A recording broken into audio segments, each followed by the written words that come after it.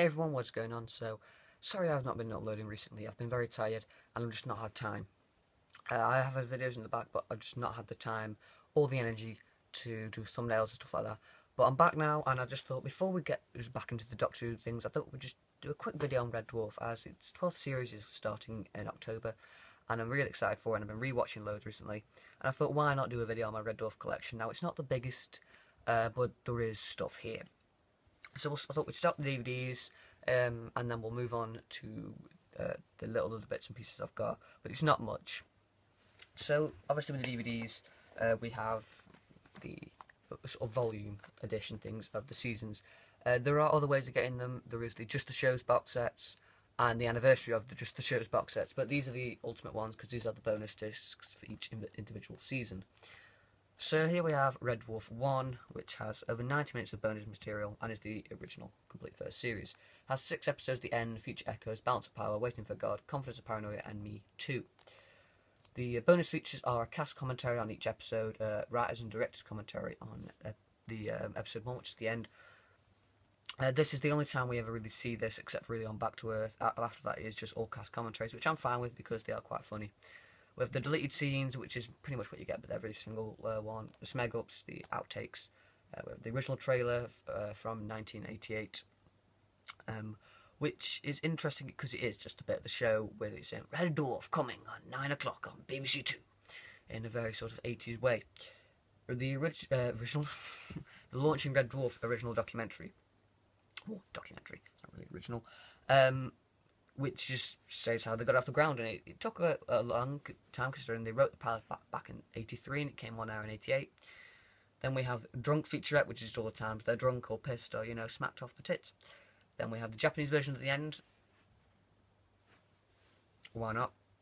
Uh, special effects raw footage, which is to do with all the old model work, basically just of Red Dwarf, the ship itself.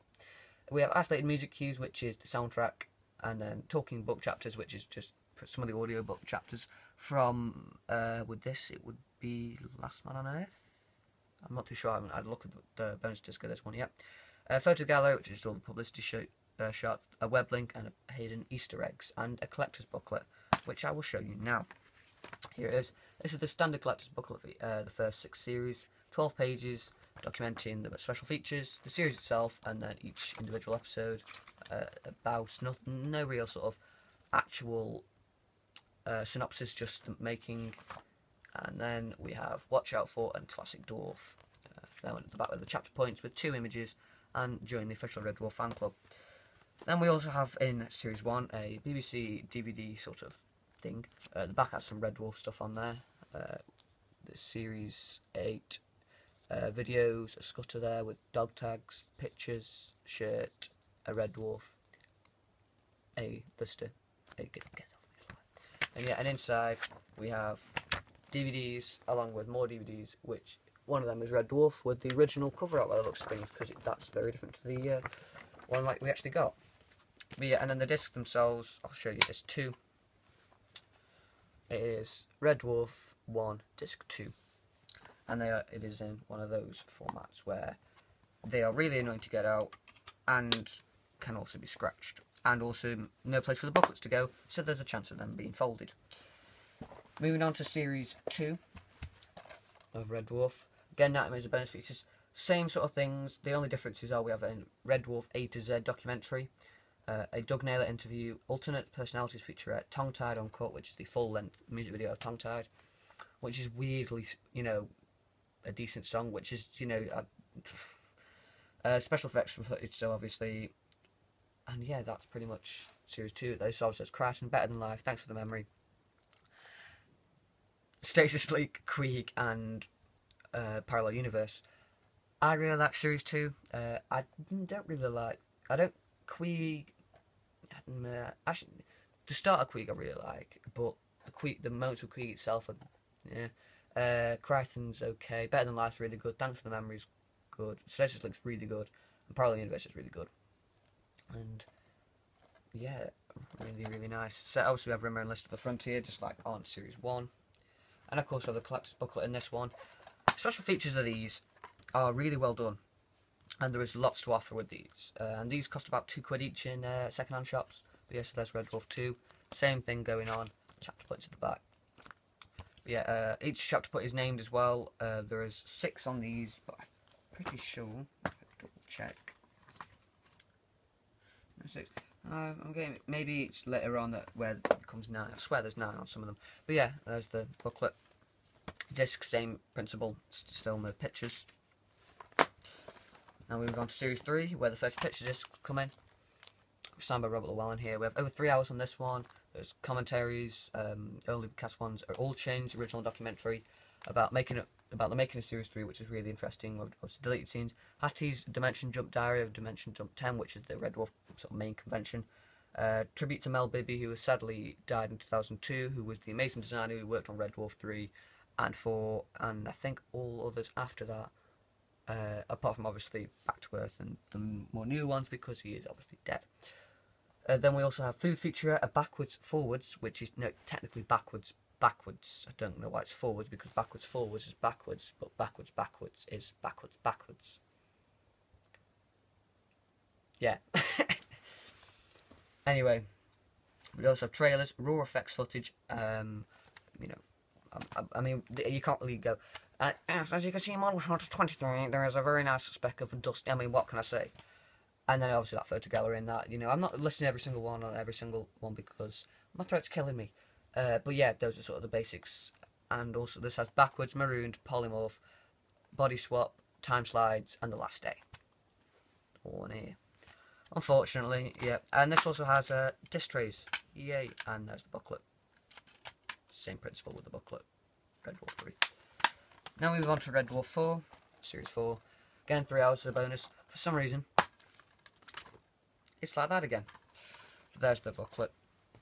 Um, this one feels a lot isn't doesn't feel as good as quality. Yeah, there's the chapter points and that. Uh, yeah, see nine now. See, there's nine of them now. So yeah, um, check series three and see if it becomes nine. Yes, it does. So after series two, there is nine chapter points. Did they get longer? Possibly. Yeah, maybe they did. They feel longer certainly. Yeah, Red Dwarf four. Uh, cast commentary that. Well, Boba Fett's just attacked me. Excuse us a moment. Um, uh, the scenery is fallen. Uh, VHSs aren't the best thing to be propping up a, a Boba Fett. There we go. Uh, yeah, we have Camille, DNA, Justice White, All Dimension Jump, and Meltdown, which is my favourite episode. Meltdown is. Well, this isn't my favourite series. We have cast commentary, Built to Last, original documentary, which I haven't watched. Well, I have watched, but not recently. Haven't really touched special disc on this in a while. Ace Rimmer, Laughing Lame. Uh, what else is uh, featurette? Can't Smeg, Won't Smeg special which I think really should have been called Can't Smeg, Can't Smeg, Won't Smeg, Don't Smeg. But, you know.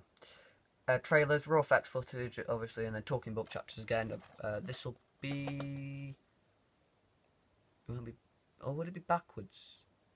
No, no, because back... Oh, I don't know. I haven't... Don't, don't, don't, don't know. And now we move on to Series 5, which I have, or Red Dwarf 5, which I have two copies of. So, here we have. Red Dwarf 5. Here's two copies. I'll explain why in a bit. But this is the main copy I have. So this has Holoship, the Inquisitor, Terraform, Quarantine, which is the best episode on this, Demons and Angels, and to Reality, which is the second best, although to Reality is seen as one of the, you know, it's up there with Gunmen of the Apocalypse. But I prefer Quarantine because Mr. Flibble is very angry. Simple as. Uh, obviously, we have Rimmer in that on the front. Uh, back to disc trays, which is nice, and then the booklet there, Red Dwarf 5. Uh, bonus features, fan commentary on Back to Reality, uh, which was a competition for fans. They could win to do the commentary on the DVD, and they do. And I've listened to the start of it, and it's okay. It's not. Um, Heavy Science Riddle documentary, Dwarfing USA documentary, the making of the US pilot. Bad guys, would you shut up? Bad guys featurette. Uh, sound of the effects of Red Dwarf 5 because this is where the model shots really come into their own. Uh, Dave Hollins radio sketch, and that's pretty much all the exclusive kind of stuff. The stuff that is, you know, the defining stuff. I watched all this last night, all in one go, all the series, and yeah, I really like Series 5. Um, I don't, I mean, Terraform's probably the weakest, and Quarantine's the strongest, I'd say. Inquisitor's uh, a really good one, though, as well. Yeah. Yeah, and uh, Series 5. And now, why do I have another one? Well, because this is the first one I got. But would you look at that? And that is not acceptable in my DVD shelf. Uh, so yeah, but also, incidentally, different disc tray. More like the American ones. Hmm. Uh, better look at that. There you go. Both the ones, the more British style ones. But yeah, apart from that, there's no difference. Uh, well, that didn't sound good. Anyway, now we move on to my favourite series, Red Dwarf 6. Or maybe it's my second favourite. Hmm. I don't know. I really like Series Three, but yeah, th this has got this is a contender for my favorite one. Uh, this obviously has Psirens, uh, Legion, Gunmen of the Apocalypse. Uh, yeah, oh, it's tired. Hook, which is Polymorph Two, uh, Rimmerworld, and Out of Time. Uh, this was the last series for a long time. This was, um, I think, for a lot of Red Dwarf fans, this was right. This is it. That's the last one because Series Seven. This is 1993. Series Seven is 1997 which is a four year gap, which is quite big. Uh, you know, I'd say like 90. I mean, if I was a fan, by 1995, I would have come to the conclusion that it was gone. You know, there wasn't going to be more Red Dwarf. But I didn't live in 1995. So, you know, I can't really give my opinion. But yeah, uh, so we have uh, cast commentary, we have a fan commentary on the Apocalypse, the Starbuggers original documentary, Howard Goodall setting the score, sick featurette, return to Lardo, or Lardio, a featurette, behind the scenes footage, interview with Anthony D. Emony, Dave Hollins radio sketch, and that's it for sort of um, stuff that I, you know everything else is the basic stuff that you get. And also now we move on to my second gripe with these DVDs. What the is that? That's two discs in one tray. Philistine came up with that. There's the booklet. But yeah, that oh that, that this makes another appearance with three discs. Oh what joy! But yeah, Series 6, really, really good series. Highly recommend it. Um, I think if you've got the Just the Shows and you have a favourite series, I definitely recommend getting the this of that series. Because it is just an immortal version of it, you know. But yeah, now we move on to Red Dwarf 7. Haven't touched the bonus disc, which is why these stickers are on. But Red Dwarf 7 has Tikka to Ride, Stoke Me a Clipper, Our Bo Boars, I haven't seen this Red 7 in quite a while, Duct Soup, Blue, Beyond a Joke, Epide Epideme, and Nanarchy. Yes, the, the, those are what it's called. And bonus features, well, this is just, there's quite a lot there. As you can see in there, there's extended editions of three of them, and it's all very exciting and cool. But yeah, Red Dwarf 7. Inside we have, th that's how a 3 disc set should look like, and then now we have the booklet. Uh, also we have a sticker there, which says includes Identity Within, which was on my Series 6 when I brought it but that doesn't have identity within, but this does. So I thought I'd put on here, it's purple as well, so I'm assuming it would have come on my Series 7. Now we move on to the last Red Dwarf in the sort of original run, if you could call it that. Yeah, call it that. Uh, which is Series 8, but before we go anything, remember that Series 6? Yeah, this has three discs now. Three discs like that. There's the booklet, three discs. Uh, but yeah, haven't watched the features on this. We have Back in the Red Part 1, Back in the Red Part 2, Back in the Red Part 3, Back in the Red Extended Edition. There's all the Back in the Reds. Uh, we have Cassandra, Krytie TV, Pete What Part 1, Pete Part 2, and Only the Good. Bonus features the Tank original documentary, Comedy Connections, Red Dwarf Special, Supermodels, featurette, storyboard sequences, Children Need, sketches, loads and loads and loads and loads and loads and loads and loads and loads and loads and loads and loads and loads and loads of stuff. It's a shame though, really, because these are pretty shit season. Well, they're not shit. The these are the weaker ones series, Red Dwarf seven and eight. Uh, just because they're the more modern ones, and the more modern something gets, it's normally seen as worse. Um, I'd say Simpsons is a good example. So, maybe not South Park, because South Park gets really good as it goes on. But yeah, I'm just going to stop blabbering. Uh, now we move on to Back to Earth. Voila. Uh, just take a look at the discs. The, oh.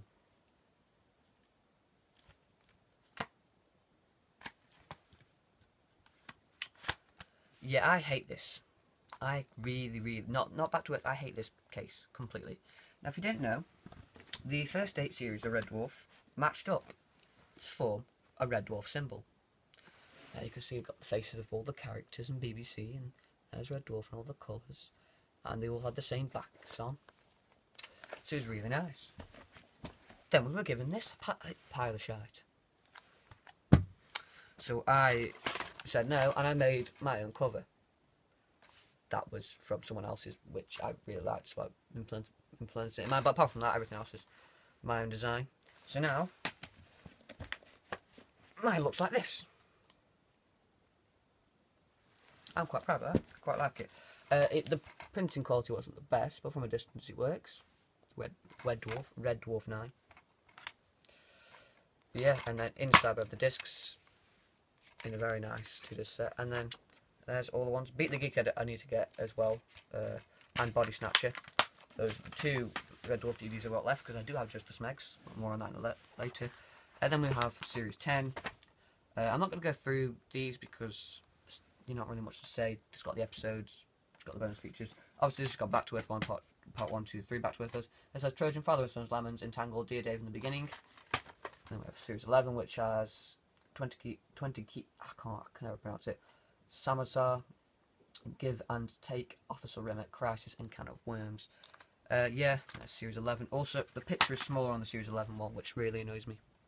Yeah. And then I said we have just the Smegs. So, yeah, if you know just the Smegs, you know it doesn't fit in. So I, once again, said no, and it is going to fit in, so I made another cover. This is all completely my own design. Now we have just the Smegs. Spearhead 3.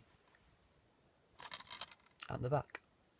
Yeah, you can, you can read my stuff. I'm quite happy with it. it. It fits in quite nicely. And, yep, so now I shall show you what they look like on my shelf. By putting them on my shelf and talking to you because I can't be asked to edit because I am very tired. So, yeah, Red Wolf um, 12 starts on the 12th of October. There's a teaser out, so if you haven't seen it, go see it. Um, and yeah. And we've got to put everything go. Uh, now you can come and have a look. There it is. That's how I display my Red Dwarf stuff. There's Back to Earth. There's Series 5. But yeah. There it is. I think it looks quite nice. Anyway, let's move on to the last part of my collection. Not much, it's just backwards and hardback and almost all the magazines. There they are. Uh, I've only got really got the stickers from them, apart from that I've got no other badges none of that kind of stuff. But yeah, backwards and hardback, and then um, that's it for my Red Dwarf stuff. And it's not impressive, I know it's pretty basic. I mean, this oh, this magazine's quite nice, but yeah, uh, I will be trying to get more stuff. I'm gonna, um, the DVDs is something I, I think Beat the Geek is the number one priority I think to get, and then after that, just some T-shirts and stuff like that from the Red Dwarf shop. Yeah, I will be getting more Red Dwarf stuff. But yeah, um, so now you've watched this video, uh, I command you to go and watch a meltdown right now. Okay, bye.